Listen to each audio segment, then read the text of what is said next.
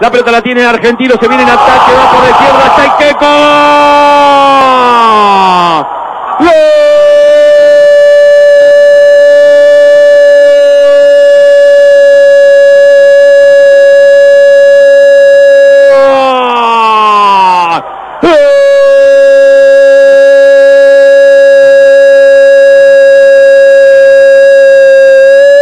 ¡Gol del bicho! Se lo anticipé, si entraba el Queco había gol, el Queco podía, si el Queco estaba afilado argentino podía, porque había mostrado algo más.